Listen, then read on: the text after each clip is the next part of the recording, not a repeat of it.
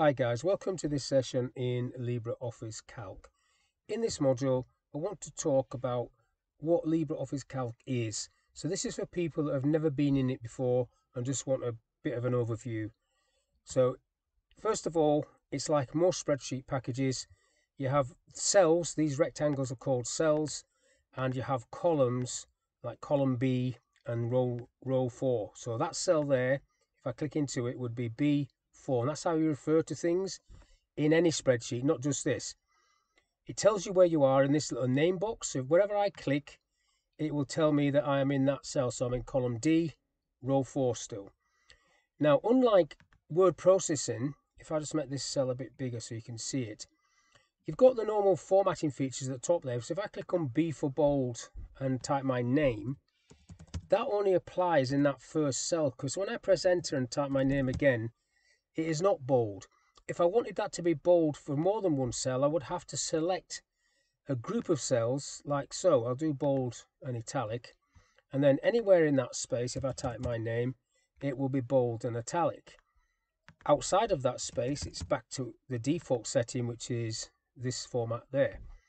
Now across the top, you've got a little paint pot. If you click on that, you can change the background color. So put it to yellow for example but just for that cell you've got uh, the A which is a font color. I can change the font color to something else. I'll change it to red.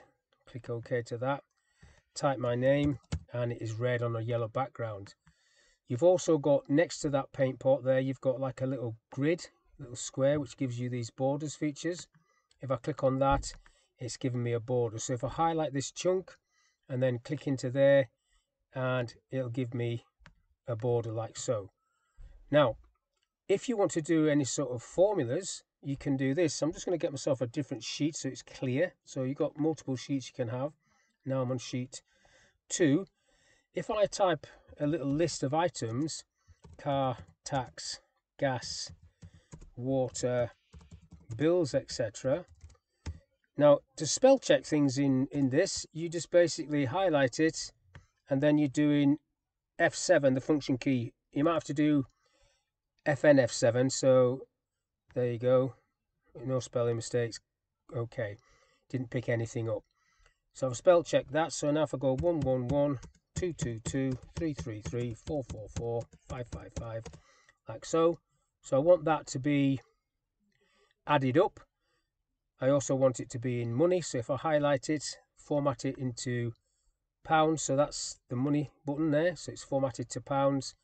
Now to add that add that up what you've got here is a little sum button a little down arrow with some functions. There's many many more functions than that and you can get into them through this and you can also get them down the right hand side there. But if I want to add those up I just click on sum and it will grab the list but you must check the list is correct at the top there B1 to B5 which is correct and then I'm clicking that tick which means I'm happy with that now. If I change any of these figures, 222, when I press enter, that just recalculates and it just picks it up. So that's how dynamic that is.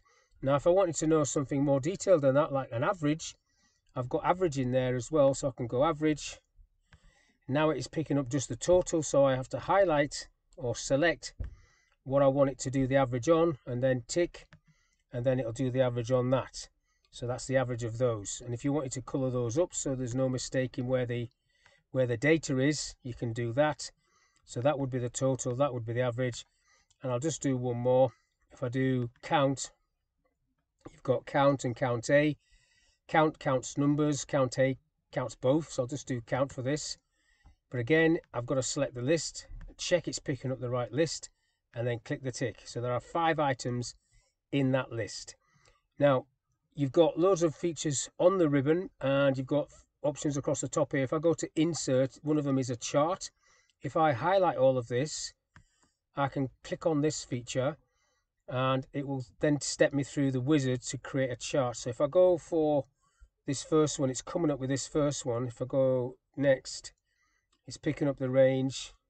Next, I don't need to change anything on this one, I don't think. If I go finish on that, it's now showing me that chart which I can't see because I've got my screen zoomed right up probably needs to come in a lot more than that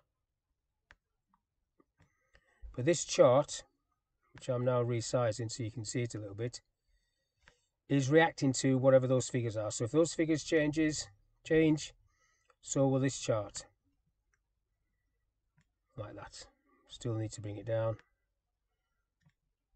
Resizing it and then moving it. Finally got there. Just make my screen a bit smaller. That probably would have been the quickest way. Now, if I change this to 667, see the graph has picked that up and it's automatically telling me what the score on the door is. If I don't want that there, you can just basically delete stuff, delete elements to give yourself a bit more space.